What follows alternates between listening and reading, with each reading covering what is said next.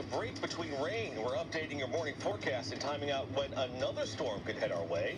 Plus, we'll show you how San Jose Mayor's uh, Liccardo is, is not giving up his fight to get sexual assaults on ride shares publicly reported.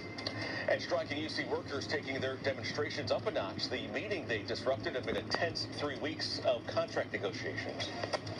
You're watching Mornings on 2 on. It's coming up on 8 o'clock. Welcome to Mornings on 2. I'm Andre Senior. Good morning. I'm Gasia Mikaelian. It's Friday, December 2nd. We don't have the rain we had yesterday, but boy, that cold stuck around. Steve Paulson is here with a look ahead. Hi, Steve.